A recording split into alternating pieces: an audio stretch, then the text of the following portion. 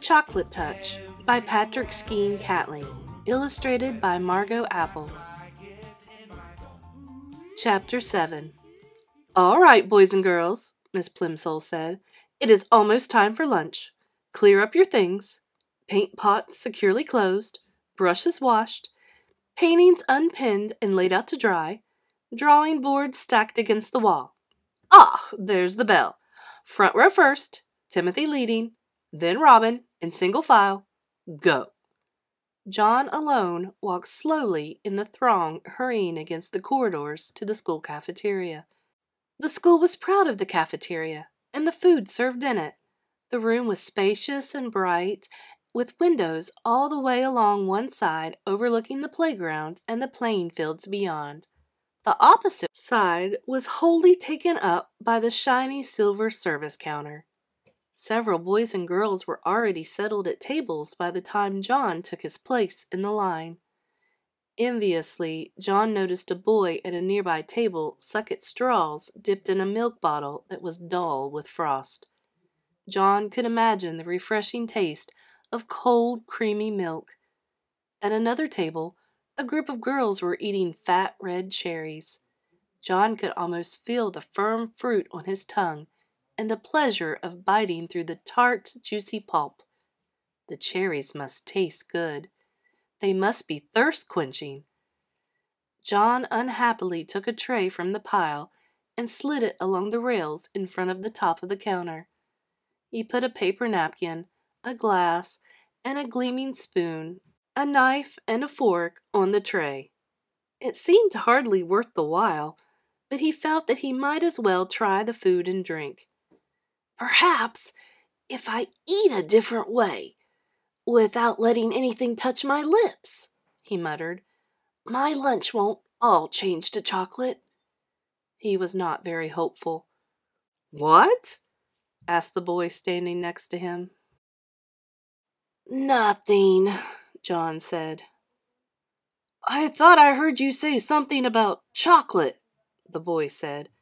I hope this is the day for chocolate cream pie, he added. That'd be super. On chocolate cream pie days of the past, John had been known to skip the main course so that he might spend all his lunch money on dessert.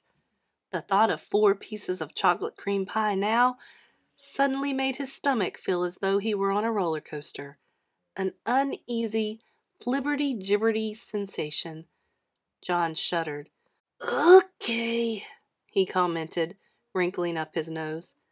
The other boy shrugged his shoulders and started to choose his meal. John took a plate of cold chicken and ham, potato chips, and a crisp, moist lettuce and tomato salad. The white of the chicken, the pink of the ham, the gold of the potatoes, the pale green of the lettuce, and the red of the tomato looked delicious. He also took a half pint of milk, a thick crusted whole wheat roll, and a cool pat of butter, a tumbler of water with ice cubes clinking against the glass, and a dish of fresh fruit, slices of orange and grapefruit and bananas and grapes. John's tray was loaded with just the sort of meal his mother was always trying to persuade him to eat. Until today, John had always thought it was pretty dull to eat sensible things when there were sweeter food and drink to be had. Today, however, the sensible things looked most appetizing, and his mouth began to water in its new sticky way. John paid for the lunch with the money his mother had given him, went to an empty table, and sat down. His fingers trembling slightly with eagerness, he cut a slice of lettuce. His fork went through the leaves with a promising crunch. He stuck the prongs of the fork into a mouth sized piece of lettuce and carefully inserted it into his mouth. The lettuce didn't touch his wide stretched lips. John's teeth came together in crisp layers of sweet chocolate. He took a small piece of potato chip, tilted back his head until he was looking straight up at the ceiling, and dropped the morsel straight down into his throat. He felt it go down, a sharp fragment of sweet chocolate. He tried the milk. the ice water, the fruit. Every solid and liquid that he sampled was transformed as soon as it entered his mouth. Then he became aware of a shocking novelty that he hadn't noticed at breakfast. At the rim of each glass there was a small semicircle of opaque brown. The bowl of his spoon and the prongs of his fork had become brown.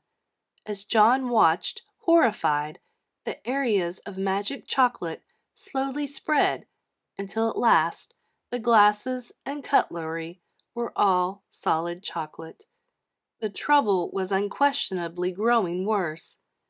John's scalp tightened with fear. What am I going to do? he asked himself miserably. Oh dear, oh dear, what is going to happen to me? Leaving his tray of chocolate food and drink and utensils, John stumbled away from the cafeteria and out to the playground. I like chocolate everywhere, but I do not like it in my